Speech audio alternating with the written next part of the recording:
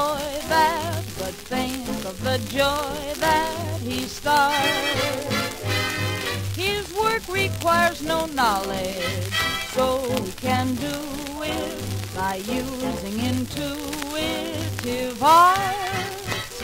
He just as you do, kids start falling in love. I ain't got brains, but I brains over all these parts.